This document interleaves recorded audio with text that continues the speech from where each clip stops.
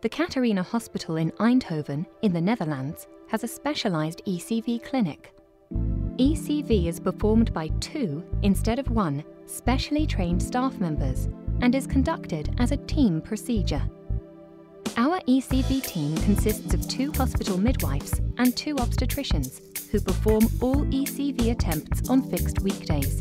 In our protocol, teamwork takes a central position and we put emphasis on four elements, which we call the four R's, meaning regularity. ECV is provided on fixed weekdays. Routine. ECV is provided by specially trained staff members. Release. These staff members are released from other clinical activities during scheduled ECV days. And relaxation. Uterine relaxation during ECV is achieved through an intravenously administered tocolytic drug. After implementing these four R's in our protocol, the success rate of external cephalic version in our clinic rose from 45 to 60%. ECV technique in theory. During ECV, the hands of one obstetrician concentrate on the fetal breech, while the others concentrate on the fetal head, with manipulation changing from a pull movement into a push movement. In order to prevent too much pressure on the fetus, this movement is consecutive rather than simultaneous. The progression of the attempt and the fetal heart rate are monitored by ongoing ultrasound by a biometric nurse. ECV technique in practice. The patient is placed with the bed tilted in 20 degrees head down position.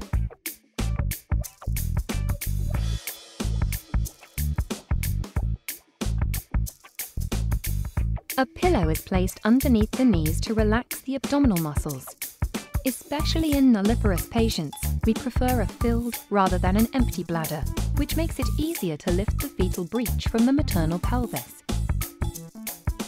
An intravenous injection with tocolytics is administered.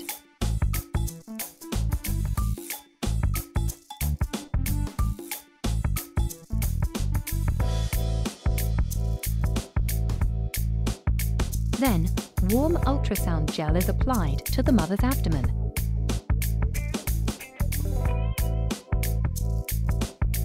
Then the obstetrician, focusing on the fetal head, tries to manipulate the head with a pull movement in the turning direction.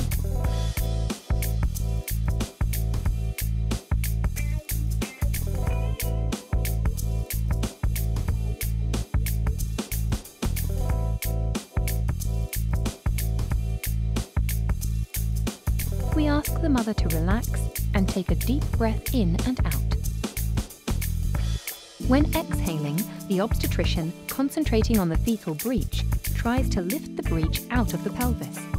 After succeeding, the obstetrician only focuses on having a firm hold on the baby's buttocks and stabilizing this new position.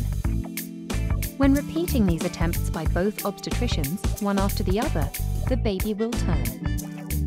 After the baby has turned approximately 45 degrees, grip on the fetal buttocks is lost in the pull movement and a change of hands position into a push movement is made.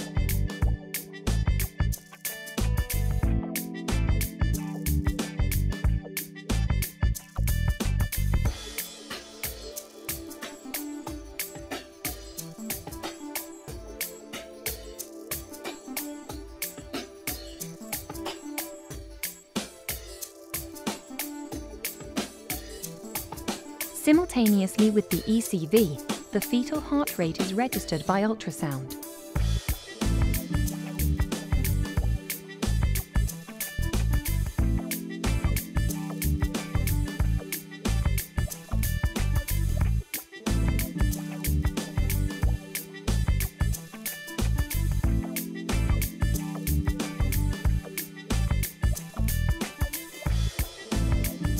Every attempt is registered by our study nurse, who meticulously registers all events for scientific analysis.